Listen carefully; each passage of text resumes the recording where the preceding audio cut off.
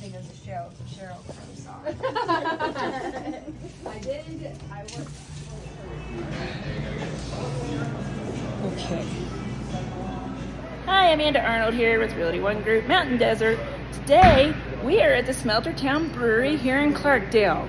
We're gonna check out what kind of brews they have, but I will tell you that it is some of the best beer I've had. So let's check it out.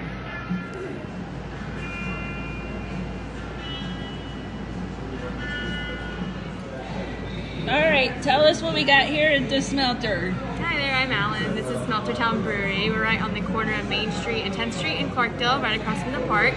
We have been here since September 2020, so we just had our three year anniversary. We offer several beers on tap, up to 16, all made in house, right over here in this nice little brew house that we have here. And we're here six days a week. We're just closed on Tuesdays, so come in and say hi to us. All right. All right, everybody. Thanks for joining us at the smelter. We look forward to seeing you sitting in the smelter when you move here to the Verde Valley. So when you're ready to make your Arizona dreams come true, you know what to do.